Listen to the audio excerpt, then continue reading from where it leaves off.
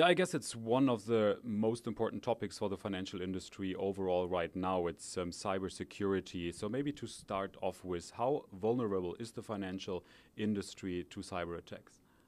Well, we've seen many attacks actually shifted from credit card data fraud to ACH fraud.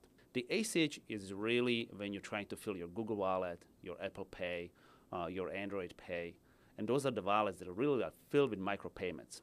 The aggregation is where the attackers are really attacking the systems and pulling real money from the system. Let's say you have a bank robber. Usually, the the success rate of the police to catch those guys is pretty high. How high is the success rate with cybersecurity?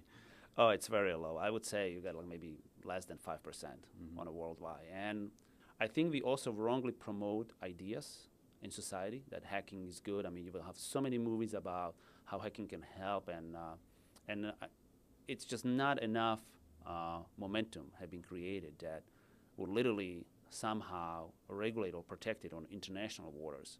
The the markets. Mm. How do you operate? Do you also attack certain systems just to see if the system of your clients are vulnerable? We do have what we call like a red team, blue team type of exercise.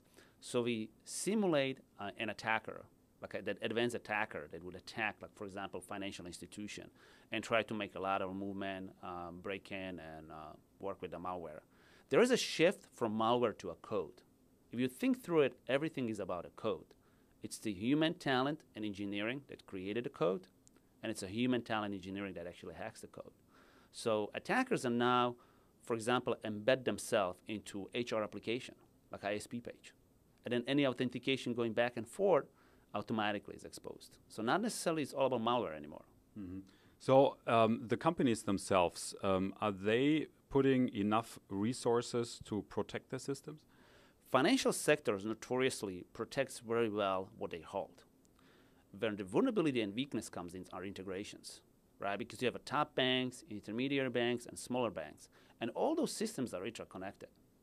And that's what the attackers are really attacking. The attacker is not going to go through the main door to the bank to attack the bank. If you want to take the large bank, you have to look who they bank with. So you do your, yourself. Have you um, changed your own habits, how you pay, um, after you see uh, where the tendency is going to? Well, the consumers are very well protected in the United States. It's the businesses that are going to suffer.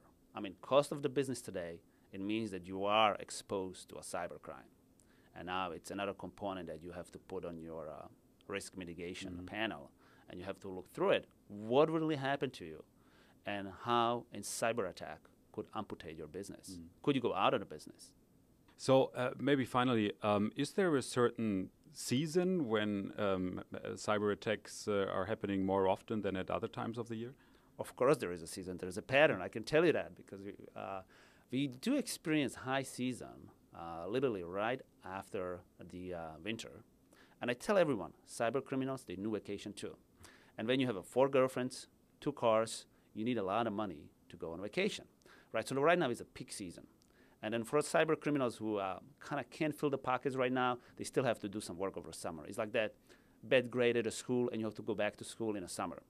And the same season picks it up uh, in the fall before Christmas because in a Christmas you need some presents for your friends, relative, again for girlfriends, car needs maintenance, right? So the season comes back in and then it comes down like in December, January. Mm.